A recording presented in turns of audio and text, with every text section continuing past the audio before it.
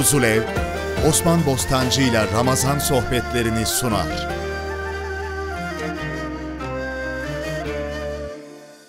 Elhamdülillah ve salatu ve selamu ala Resulillah. Euzu billahi mineşşeytanirracim. Bismillahirrahmanirrahim. Fuzulev'in katkılarıyla sunduğumuz Ramazan özel programımızın yeni bölümüyle sizlerin karşısındayız. Elhamdülillah Rabbimize şükrediyoruz. Ramazan-ı Şerif'in tüm güzelliğini elhamdülillah müşahede ediyoruz ve diliyoruz ki bu kazandıklarımız kalıcı bir şekilde bizde devam eder. Yani sadece Ramazan'la gelip giden bir tavır, bir karakter değil de Ramazan'da öğrendiklerimizi Ramazan'dan sonra da devam ettirebilelim.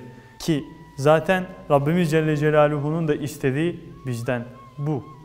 Rabbim hakkıyla yapabilmeyi nasip eylesin. Bugün yine Efendimiz Aleyhisselatü Vesselam'ın bizlere örnek olan davranışlarından birkaçını öğreneceğiz.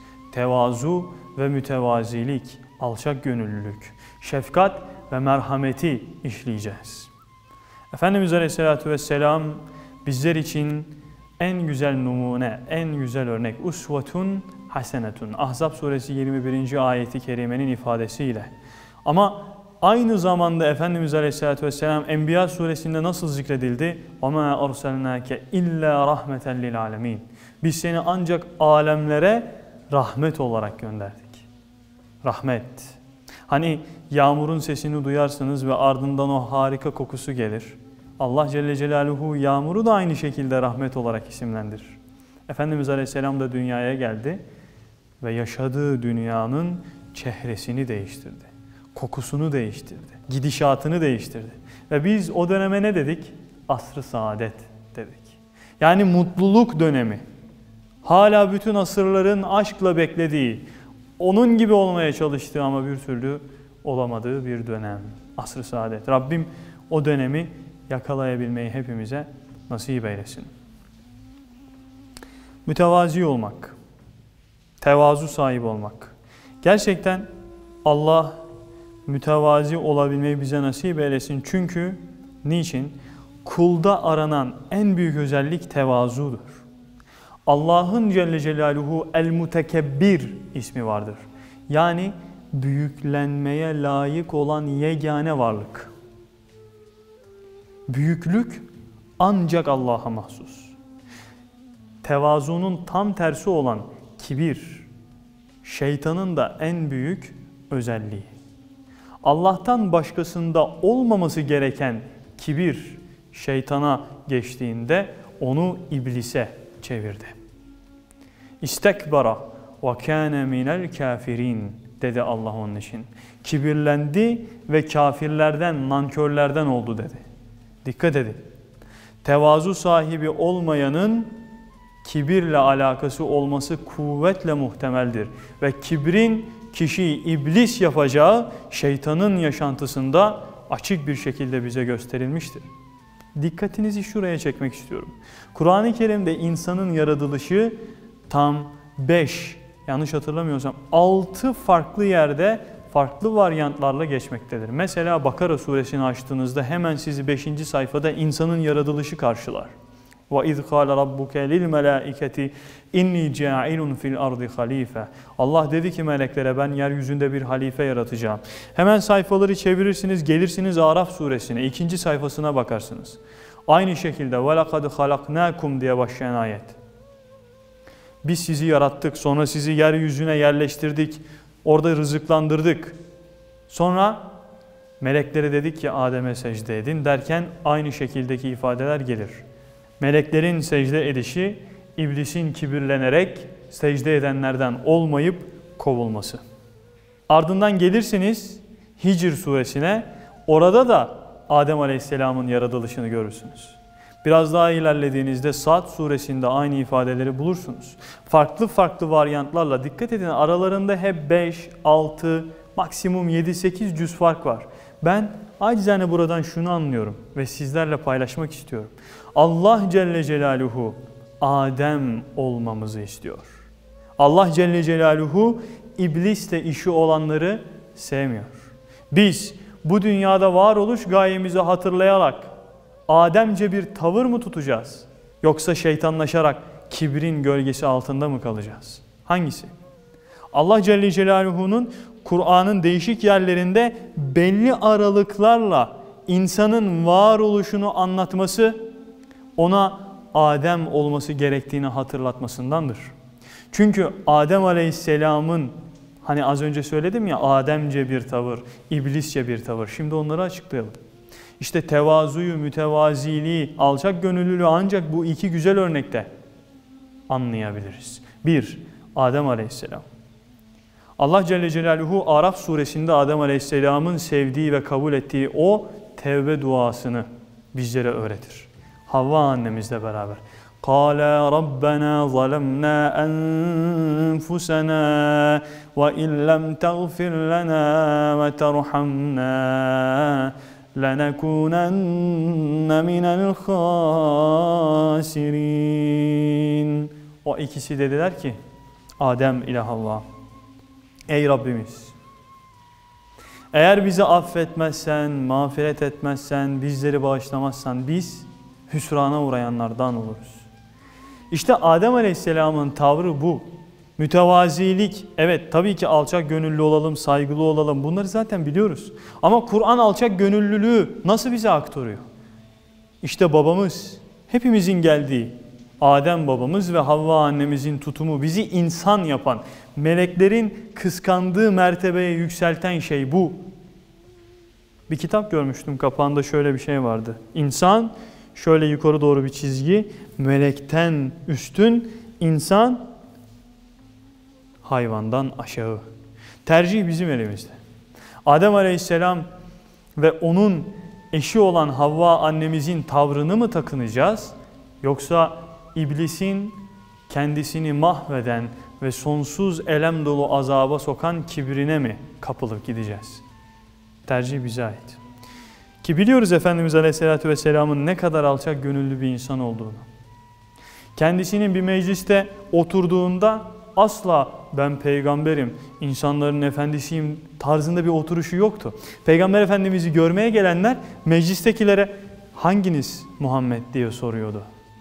Yani bir mecliste diğer insanlara bakıldığında şeklen, oturması, kalkması itibariyle diğer insanlardan bir farkı yoktu. Yani sultanlar gibi köşkünde ya da büyükçe bir sandalyesinde oturmuyordu Efendimiz Aleyhisselatü Vesselam. Herkes gibiydi. Çünkü Allah Celle Celaluhu ona öyle olmasını emrediyordu zaten.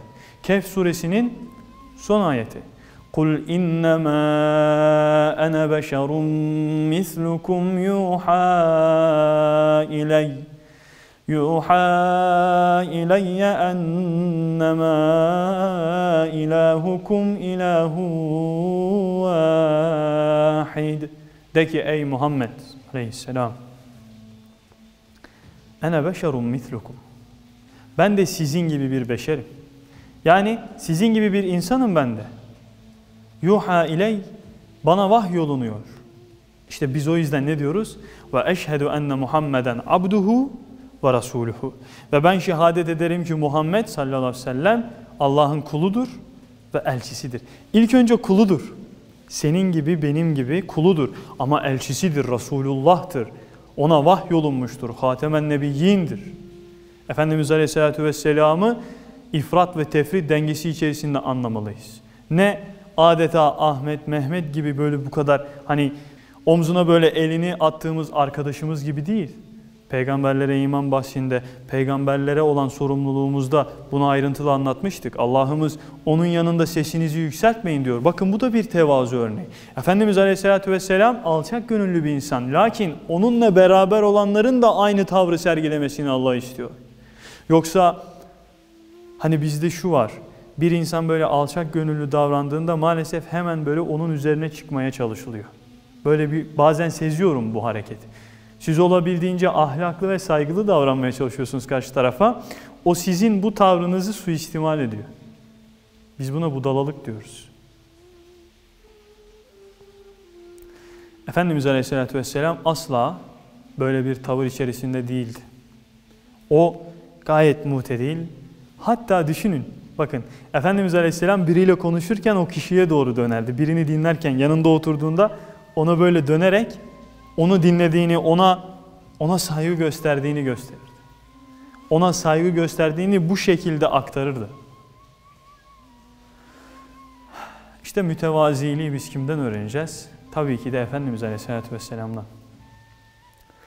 Sahabe efendilerimizle beraber oturmuş, onların dertleriyle dertlenmiş, onların halleriyle hallenmiş, yeri gelmiş bir çocukla o çok sevdiği kuşu öldü diye ağlayan çocuğun yanında oturmuş, o da ağlamış. Ama yeri geldiğinde kılıcını kuşanmış, İslam için savaşmaktan bir adım geri durmamış. Bu dengeyi çok iyi anlamalıyız arkadaşlar, kıymetli dostlar. Eğer bu dengeyi algılayamazsak Peygamber Efendimiz'i tanıyamayız. Peygamber Efendimizin zırhını giydiğinde peygamberler zırhlarını giydiğinde bir daha savaşmadan çıkarmazlar sözünü hatırlamalı ve ona göre bir mücahede hayatı seçmeliyiz. Ama aynı zamanda eşleriyle hiç tartışmadan çocuklarının olan hürmetini de almalı ve o şekilde bir hayat tutmalıyız. Yani denge, dengeden bahsediyorum.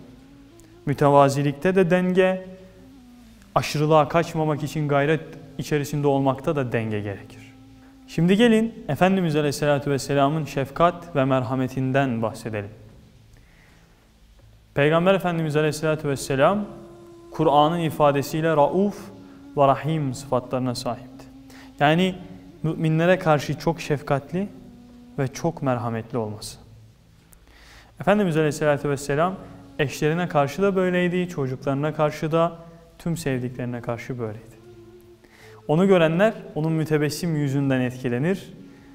Bu yüzün yani gördükleri yüzün Efendimiz Aleyhisselam'ın yalan söylemeyeceğini düşünerek iman ederlerdi. Şefkat ve merhamet. Yaşadığımız bu dünyada ihtiyacımız olan en önemli vasıflardan bir tanesi. Merhamet duygusu olan insanlar. Şefkatin kalmadığı, neredeyse tükenmeye yüz tuttuğu bir döneme denk geldik. Allah kalbinde şefkat olan, merhamet olanlara sizleri, bizleri denk getirsin.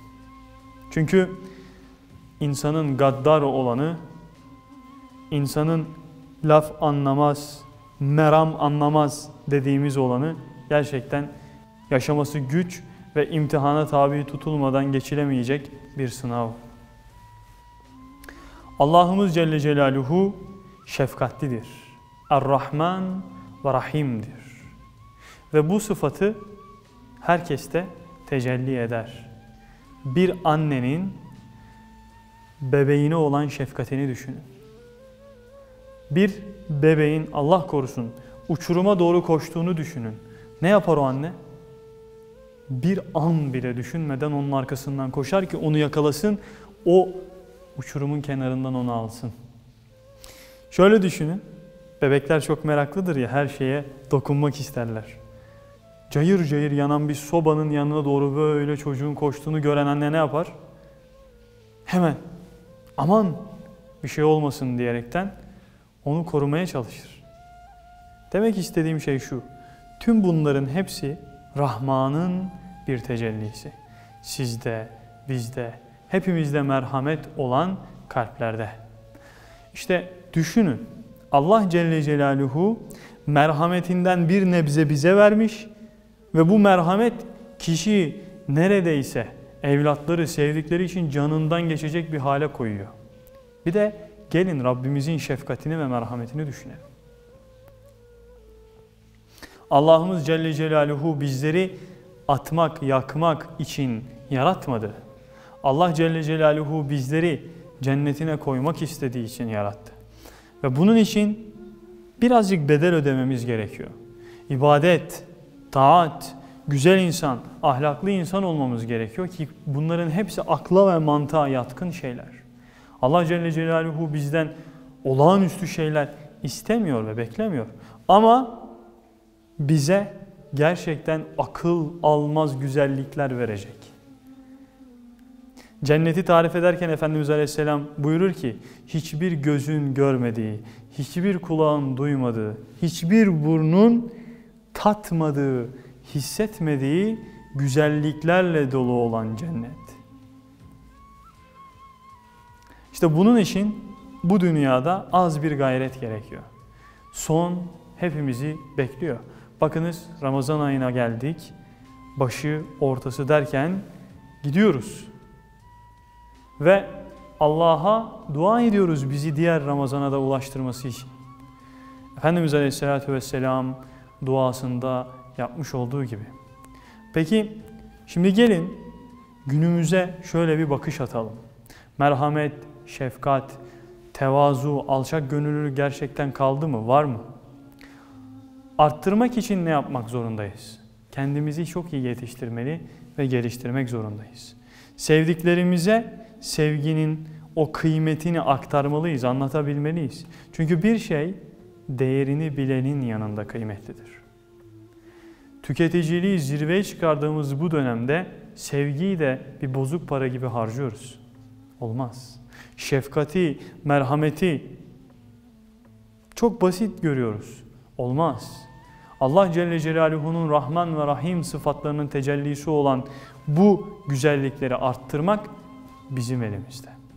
Allah'ımız buyuruyor ki وَالَّذ۪ينَ يَجْتَنِبُونَ كَبَائِرَ الْاِثْمِ وَالْفَوَاحِشِ وَاِذَا مَا غَضِبُوا هُمْ يَغْفِرُونَ Allah sevdiği kulları tarif ediyor. Onlar büyük günahlardan, fuhşiyattan, yani kötü alışkanlıklardan, nefsin esiri olmaktan kendilerini ne yaparlar? Korurlar. Öyle olmamak için gayret ederler. Sonra sinirlendikleri zaman affederler.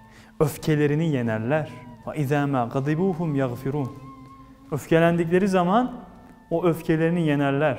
Peygamber Efendimiz ne buyurdu? Bir kişi oruçluysa kötü söz söylemesin. Bir kişi bir ötekisine kavga etme türünden bazı hakaretler ediyorsa o oruçlu kişi desin ki ben oruçluyum ben kavga edemem. İşte oruç kalkandır diyoruz değil mi? Oruç bir zırhtır. İşte şefkat ve merhamet zırhını taktığımızda o güzellikler bize geliyor.